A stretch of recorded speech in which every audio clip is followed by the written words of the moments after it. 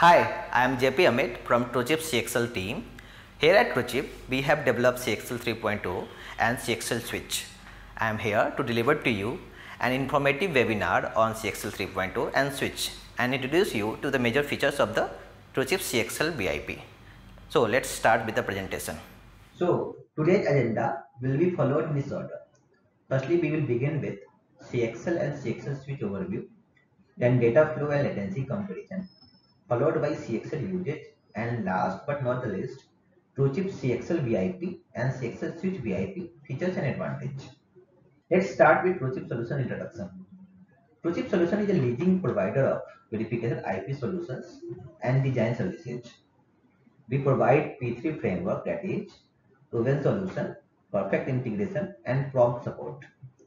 We have R&D centers in India. We are provider of VIPs for PCI, Ethernet, CXL, USB, storage, AMBA display and many more VIPs. TrueChip provides direct sales and support presence across North America, UK, Europe, China, Israel, India, Japan, Korea and Taiwan. Now moving to the CXL overview part. First question that comes to mind is what is CXL? CXL is a dynamic multi-protocol technology designed to support accelerators and memory devices for heterogeneous computing, which is provided with three rich protocols which can run parallelly on a single link and can improve the efficiency of data transmission. Here, CXL IO protocol is an enhancement to PCI transaction layer and link layer used for initialization, link up, device discovery, enumeration and register accesses. On the other hand, we have completely new protocol for cache coherency and memory access, which allow host and device to exist in the same address space and share the memory. The CXL cache allows the device to coherently access the host CPU memory, while the CXL MEM allows the host CPU to access the device attached memory. CXL 3.0 support two types of data transmission in 68 byte and 256 byte fetch structure. Now, let us quickly go through the basic architecture provided by CXL specification. The picture on the right side of the screen shows the layered hierarchy of CXL, starting with the transaction layer, then the link layer, and then the ARMUX layer and the FlexBus layer. The transaction layer and the link layer is further subdivided into the separate IO components and a combination of cache and MEM component. The decision to choose from CXL.io or CXL.MEM and cache is done at the CXL ARMUX interface. The ARMUX interface arbitrates between the requests from the CXL link layer and dynamically multiplexes them by using an arbitration logic. Finally, the data is transferred serially using a FlexBus layer, which is nothing but the PCI Express 5.0, 6.0 PHY logical subblock and the PCI Express electrical subblock. Basically, CXL differentiates the CXL IO and cache MEM at ARMUX layer and dynamically multiplexes between them. CXL can be configured to work in PCI Express mode or in the CXL mode. In PCI Express mode, mode the, this ARMUX layer is bypassed and only CXL.io is used. In the CXL mode, we have additional cache and MEM or both protocols working. We will be overviewing the CXL switch in this slide. Its CXL hierarchy is defined by a virtual CXL switch within the switch so that a host is completely isolated from all other hosts. This is done by configuring internal virtual PCI to PCI bridges and binding them to physical PCI to PCI bridges that attach directly to CXL devices. There are three types of switches. A single VCS switch consists of a single upstream port and one or more downstream ports. A multiple VCS switch consists of multiple upstream ports and one or more downstream ports per VCS. A multiple VCS switch with MLD ports consists of multiple upstream ports and a combination of one or more downstream MLD ports. Let's discuss about some features of CXL starting with Fabric Manager. The fabric manager is an entity separate from the switch or host firmware that controls aspects of a system related to binding and management of pool ports and devices. Fabric Manager API is a standardized interface for the Fabric Manager to communicate with devices. As shown in this, figure, the structure of CXL 2.0 that introduces CXL switch and multi-logical device makes a lot of sense when connect, controlled by a Fabric Manager. The Fabric Manager sits external to the CXL switches and configures the internal CXL hierarchy within them. In favor of simplicity, CXL also provides a static configuration that doesn't require a Fabric Manager in the case where only single logical devices are present. The Fabric Manager can boot alongside the host or before them and execute changes to the bindings of physical devices to VCS in real time.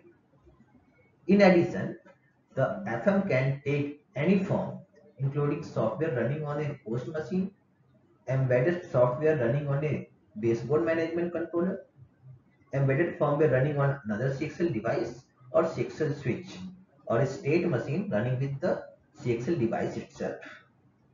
Using a standardized API, the Fabric Manager can send commands to logical devices, gathering information, error information, quality of service, and bandwidth information.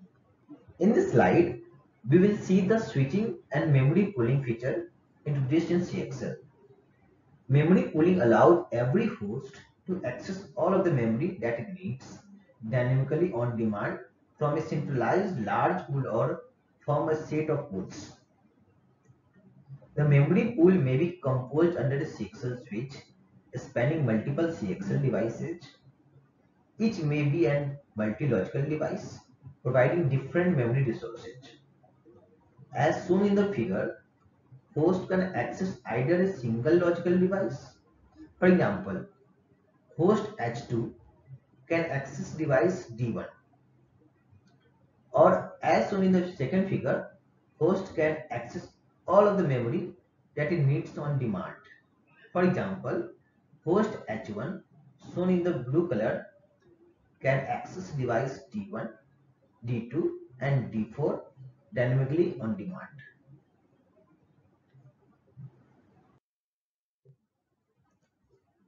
We will be discussing about CXL's hot plug support in this slide.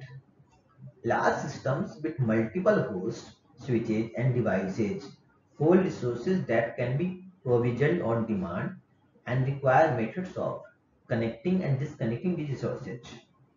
It doesn't make sense to turn off the system every time a new device is added, as it may require turning off a whole fleet of systems. Along with CXL switches and fabric managers, CXL introduces the concept of hot add and managed hot removal. As shown in diagram, CXL supports managed hot remove.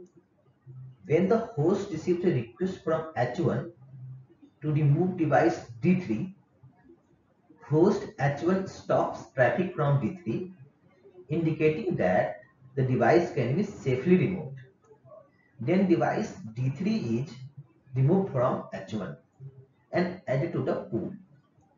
Similarly, CXL supports managed hot add. For example, if host H2 claims a device, the fabric manager allocates D3 through the switch and initiates a hot add flow. Adding D3 to H2 initiates normal traffic flow between host and device. We will discuss about the flow of memory transaction in PCI Express in this slide. How the data is actually transmitted to and from host attached memory in case of PCI. As you can see from the diagram, memory management unit plays a role for maintaining data transfers and address translations and if there is any device for which the data needs to be coherent with the system memory, then multiple PCI Express memory reads and writes will be taking place. So in that case, it will consume more much latency of the system to maintain coherency using traditional PCI data flow. Thus, it will consume a lot of bandwidth to maintain the coherency for PCIe device, which needs to modify the host memory, while the non-coherent I.O. devices rely primarily on standard producer and consumer ordering models and execute against host attached memory. For such device, there is only little interaction with the host except for work submission and signaling on the work completion boundaries like providing the interrupts. Such accelerators also tend to work on data streams or large contiguous data objects. Let us take an example of NVMe Express or PC Express. It can be considered one such IO device. But while taking into account accelerators, which needs to maintain coherency with host memory, CXL cache comes into account. In this slide, we will show latency comparison between PCIe and CXL. With experience in the PCI Express implementation and verification, we have observed that the time taken for sending a transaction layer packet to the remote transaction layer, which is working at 32 GT per second for PCI Gen 5 is around 45 nanosecond, while the same for CXL.cache and MEM is around 24 nanosecond, working at 32 GT per second. Thus, CXL is faster than PCI and the latency is less in CXL. Here we will discuss about the CXL use cases. Based on the use of three protocols, there are three type of CXL devices, type 1, type 2 and type 3. Type 1 devices use CXL.io and CXL.cache protocols. The user example for the same is NIC, that is network interface cards, or smart NICs, which can benefit from the CXL cache. For type 2 devices are GPUs and FPGA for dense computing. These devices have local memory attached to them, which are basically used for their own computation and we expect these kind of devices to implement all the three protocols that is CXL.io, the CXL.mem and CXL.cache. Moving to type 3 devices, the typical usage will be memory bandwidth expansion or memory capacity expansion where the device needs to implement the CXL.io and CXL.mem protocols. Here we have architectural block diagram of the TrueChip CXL VIP. Here's for showing you the different configurations of the TrueChip CXL VIP. We have taken CXS upper link layer, lower link layer architecture on the host side and CPI interface on the device side. Both interfaces can be used interchangeably between both components in all the four different permutations. Taking the example of this configuration, let's start from the top on the host side. Here we have the memories and the configuration space of the host. Then we can see the sequences here, which is basically a part of the VIP application layer. CXL upper link layer and lower link layer architecture is used to bypass the CXL transaction layer. So whenever any host sequence is initiated, it is driven to the VIP CXL upper link layer in case of CXL.cache or CXL.mem transaction and to CXL.io transaction layer in case of CXL IO transaction. Here on the upper link layer, a 512-bit field is formed that is driven onto the CXS interface. Our CXS interface supports both CXS link control property that is explicit credit and none. Coming back to the transaction, it arrives onto the CXL lower link layer. Here the 2 byte CRC is appended to the 512 bit field. It is then sent to the ARMMUX where arbitration takes place between the CXL.io, cache and MEM transaction. Then the packet is sent to the physical layer for transmission over the CXL link. From the CXL link, the transaction is sampled by the receiving component which is the CXL device here as well as the TrueChip CXL monitor. Coming to the CXL link, we can see that the VIP monitors reside here. The monitors resides on the receiver side of the link. So whatever transaction is transmitted from host is sampled by the device monitor and transaction from device are sampled by the host monitor and all the appropriate checks are applied at each layer while following the CXL protocol CPI and CXS have their own interface level monitors. Along with the checkers, our scoreboard and coverage monitors are also present here to apply data integrity checks and calculate the coverage. Coming to the receiving component, the packet arrives on the CXL device physical layer and reverse process of the transmit side take place.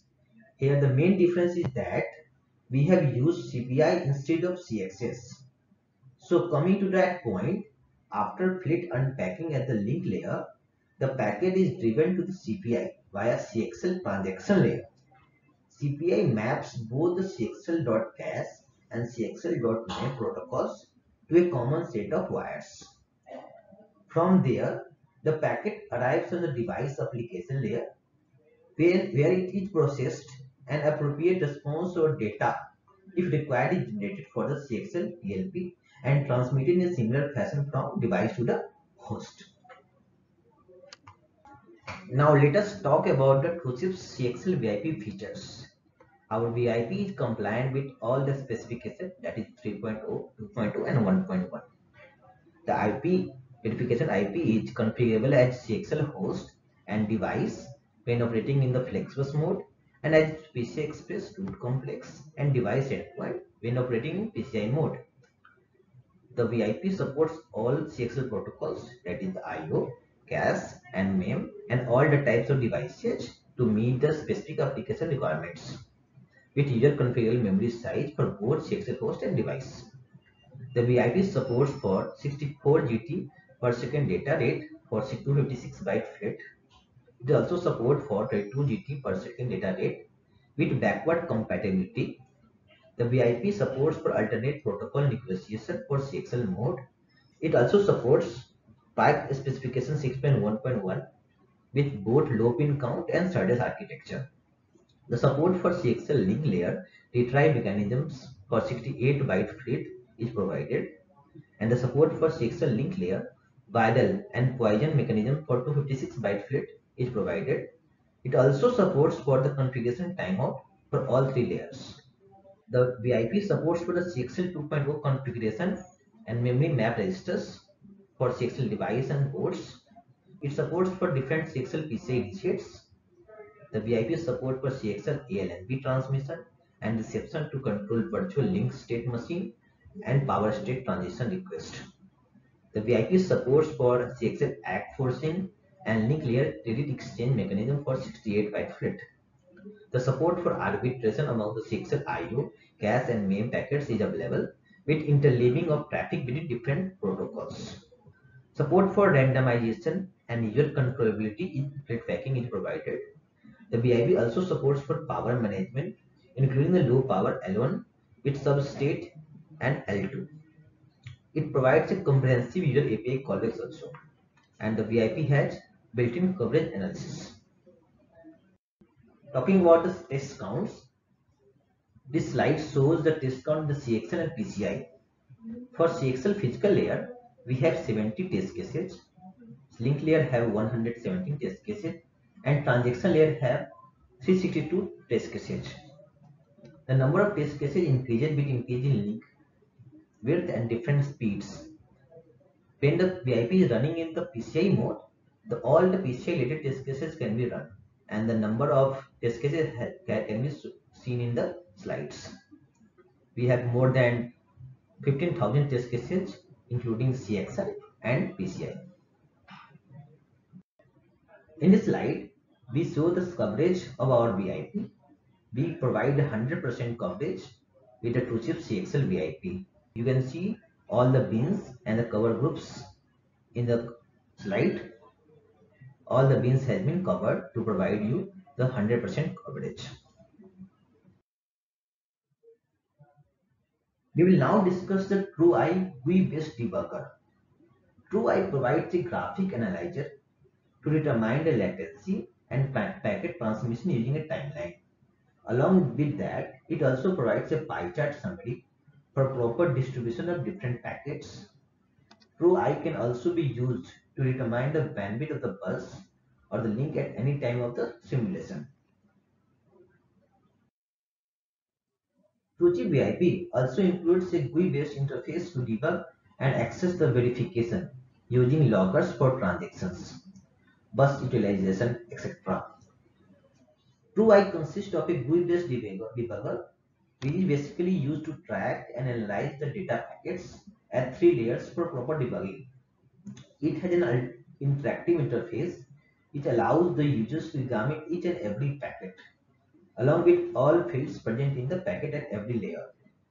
Here in the current picture, you can see an Armux layer logger where attributes for each field can be viewed in the selected transaction. We can see a field is transmitted from device to host at timestamp 45294.108 nanoseconds. Further in the right side, on the transaction details section, we can see all the information related to the fields such as the byte 0 of ALMP as reserved, then message code as per the field size, then virtual LSM request status type of ALMP along with VLSM instance number fields as well and all the fields are shown there. Thus it makes debugging very convenient and faster. Here we have the architectural block diagram of TrueChip CXL switch VIP that shows one of CXL switch upstream port and three CXL switch downstream port. But TrueChip VIP supports a generalized number of CXL switch downstream port as per customer's requirement. TrueChip VIP supports for all three CXL protocols that is CXL IO, cache, MEM and device types to meet a specific application. TrueChip VIP supports for 64 GT per second data rate with backward compatibility TrueChip VIP supports for 5 specification 6.1.1 with both low pin count and SerDes architecture. The switch VIP compliant is compliant with CXL 2.1 and 3.1 specification.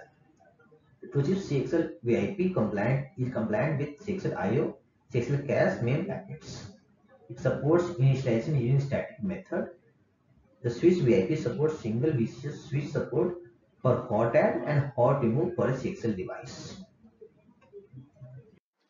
Now let us check how do we run CXL test cases with our VIP. Let's take a brief look at the demo run command first.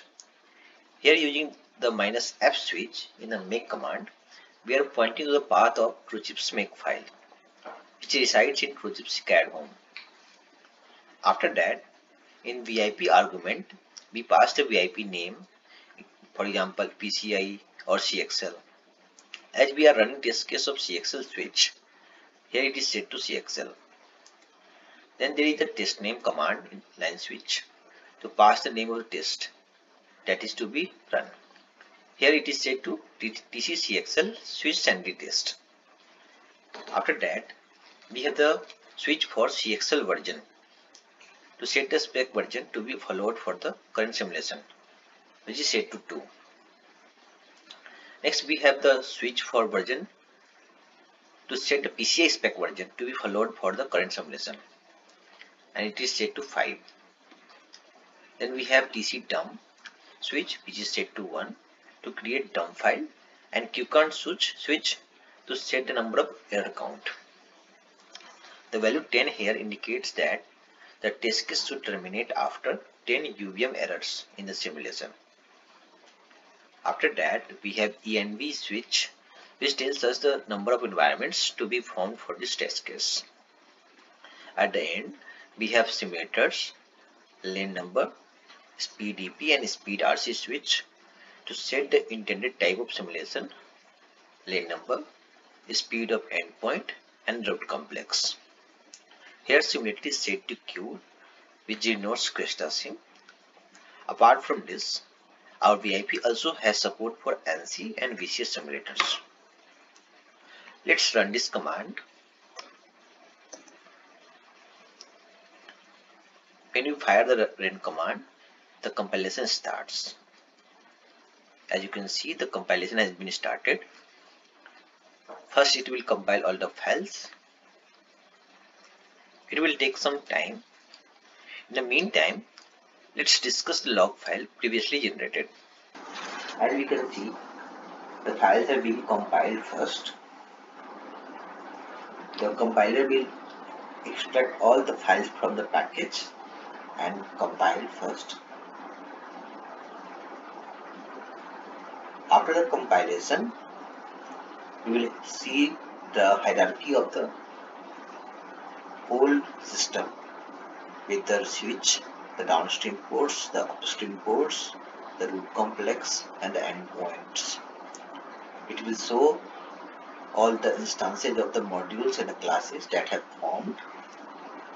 After system, system reset is deasserted, physical layer LTSM state is enabled and transitions into detect.quite LTSM state where it waits for 12 milliseconds and then timeouts into detected active state. In this state, both components perform receiver detection and if the receiver is detected, LTSSM state transitions to polling.active state. In this state, the component starts transmitting TS1 order state for all the links. From here, after receiving spec defined number of TS1 and TS2 order states with required field values, LTSSM progresses from polling to configuration to L0 state for all the links. And the link up is done at Gen 1 data rate. As you can see, multiple TS1 and TS2 order sets are being transferred for all the links. The links start from 0 to 7 as we put the ENV value to 8. From here, it then goes into recovery state. Where in recovery speed substate, it changes its speed to Gen 3 data rate. Then after, rate change is done.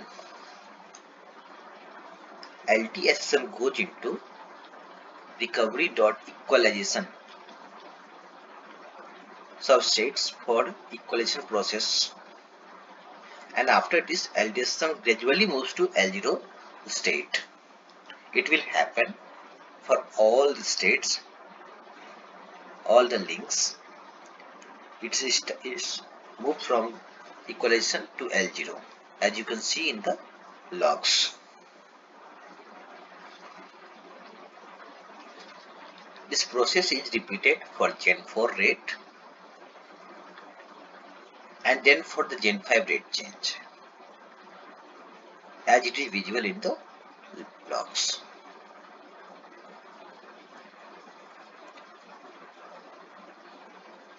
This happens for all the links.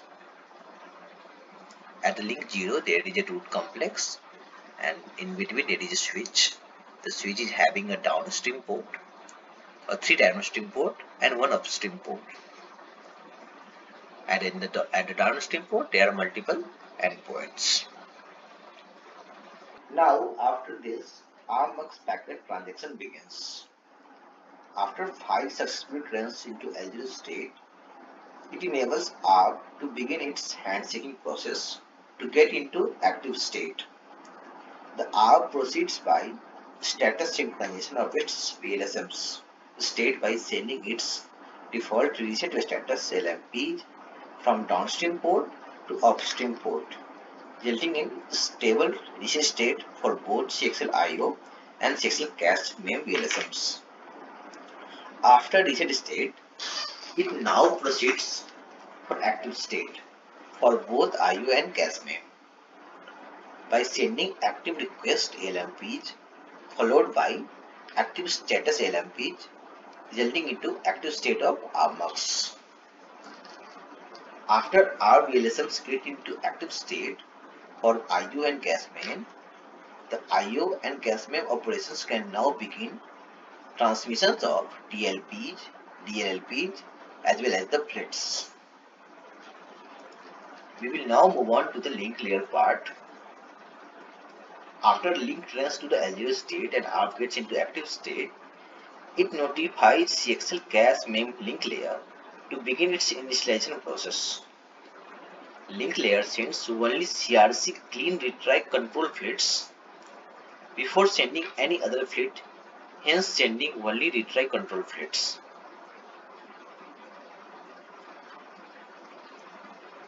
It will send multiple retry flits so that a CRC clean retry flit can be achieved at all the links.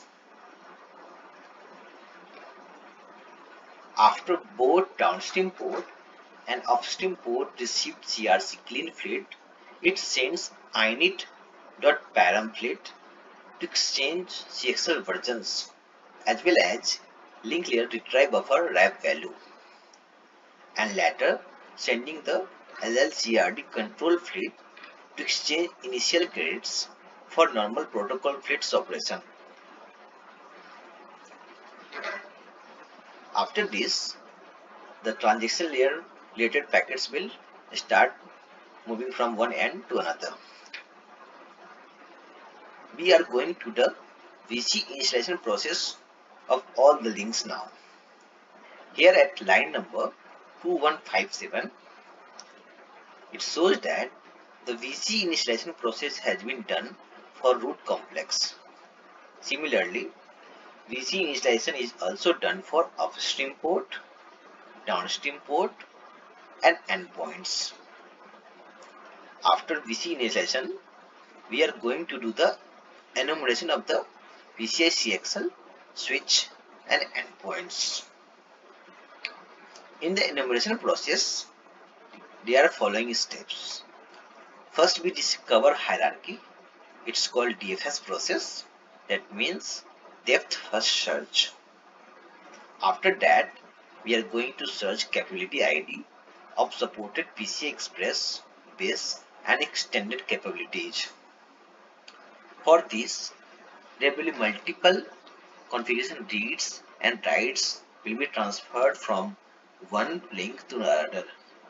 It will involve all the root complex all the ports of the switch.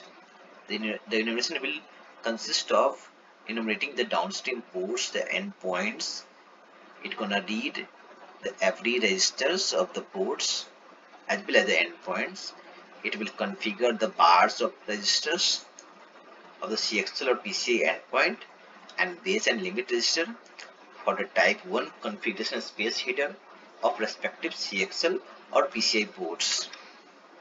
As you can see in the logs, multiple packets have traveled from the root complex to the switch of stream port to the switch downstream port and to the endpoint and these packets consist of multiple configuration writes and reads these have configured the registers of the CXL downstream ports, the upstream ports and the endpoints. And here you can see these prints are showing the bars starting and end address of the PCA component with respective BDF. Now after the, this the enumeration has been completed. It will complete for all the links. May it be the link 0, the link 1, the link 2, 2 or 7. After the enumeration process, we are configuring the DVSEC capability register. Now, credit and PM initialization are processed. As you can check here in the logs, CXL power management vendor defined message are successfully transferred between the respective components.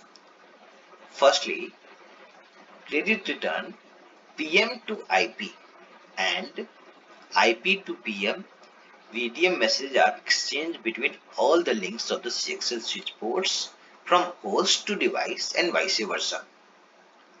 After that, agent info PM to IP and IP to PM messages are transferred between all the links of the CXL switch ports from host to device and vice versa.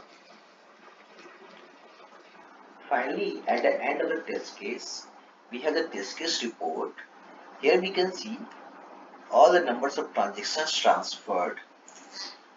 We can see that a total transferred including the host to device LCRD host to device retry plus host to device init is 29. It also mentions the separate separately for S2D LLCRD that is 2 number 2 total S2D retry is 28 and total S2D init is 1 similarly the report comes from all the monitors at the end. At the end we can see have we have 3179 UVM info 0 UVM warning 0 UVM error and 0 even fatal in this way that we can see the test case has passed and it has enumerated all the ports of the CXL switch and all the endpoints below downstream ports of the switch. Now let's move on to the next test case. After running the CXL switch sanity on CXL version 2, we will run CXL sanity on CXL version 3 and with lane number 4. Let's run it.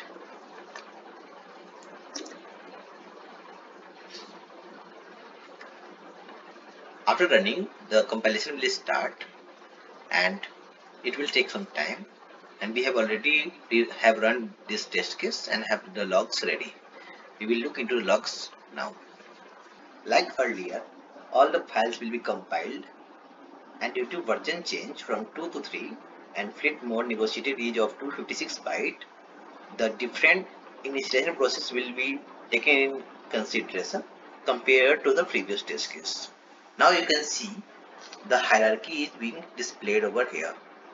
After the system reset is asserted, the LT system state transitions will take place. It will now try to get the L0 state like earlier explained. It will move on from Gen 1 data rate to Gen 3 and then to Gen 5 data rate gradually and ultimately achieve the L0 state so that other links can start its process. LTSSM state has reached the L0. After this, the ARB/MUX of the CXL will start this process. After 5 successful trains into L0 state, it enables ARBS to begin its handshaking process to get an active state. Since in CXL 3.0, 256 byte flit mode format ALMP flit received is always error free from FlexBus as it removes CRC and forward error correction. Both VLSMs of CXL IU and cache mem are in default reset state. After reset state, it now proceeds for active state for both IU as well as cache mem VLSMs by sending active request ALMPs from downstream port to upstream port, followed by active status ALMPs resulting into active state of ARB/MUX. After our VLSMs get into active state, both CXL IU and cache mem operations can be begin. Its operation of transmitting TLPs, DLLPs as well as the flits. After the link turns to L0 state and ARB gets it to active state, it notifies CXL cache mem link layer to begin its initialization process. Both upstream port as well as the downstream port will begin their normal operation by sending init.param flit indicating they are ready for protocol flit transmission. After the link initialization, the enumeration process starts. As you can see, we send multiple configuration read and writes for the enumeration and it takes place as explained earlier. This request configuration reads and writes will configure all the bar registers, will detect the capability IDs for the endpoint. At last, in the log you can see it shows the start and end addresses for the bar registers and the enumeration process completes here. After the enumeration process, we are configuring the DVSEC capability registers.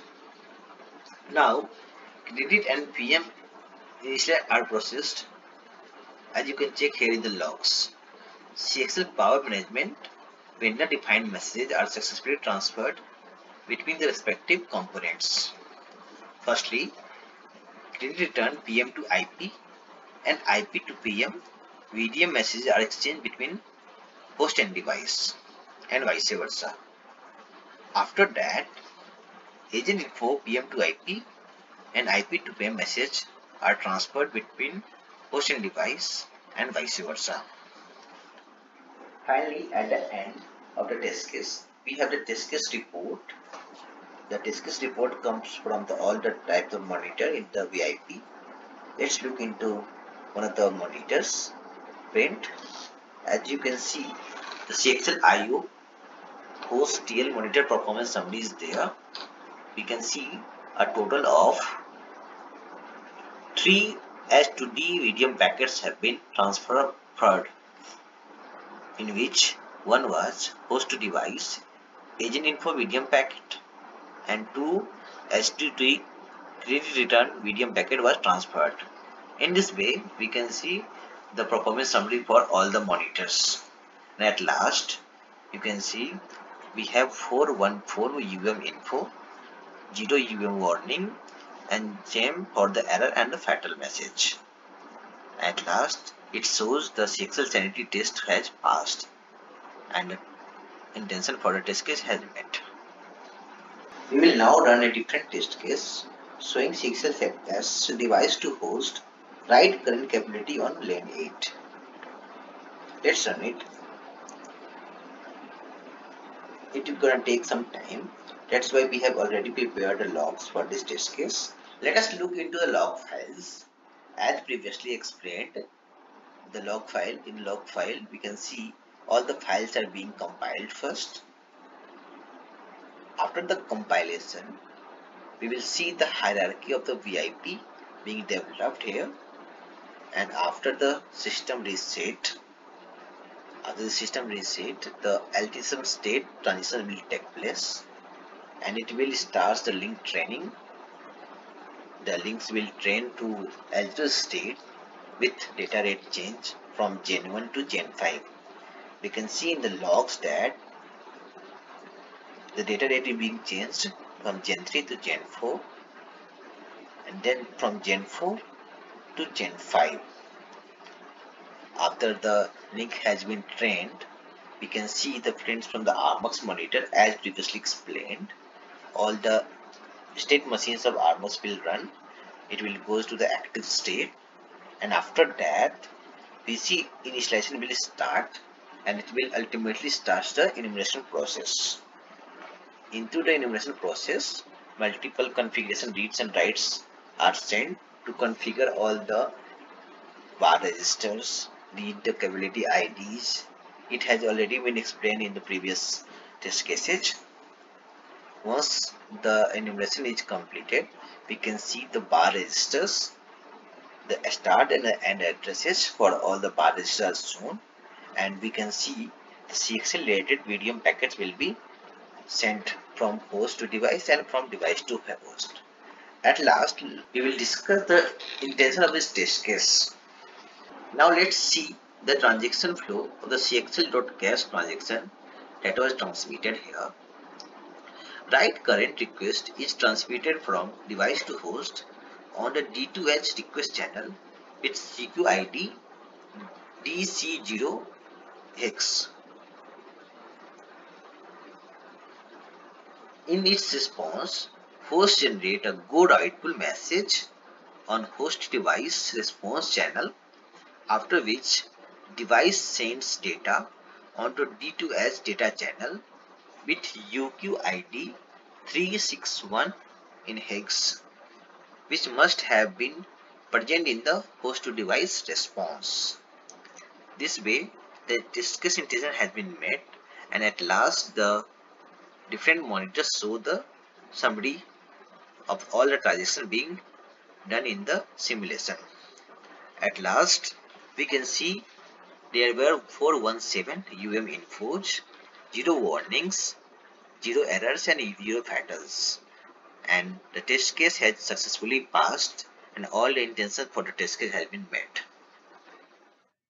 That's all in the presentation. Thank you for your time.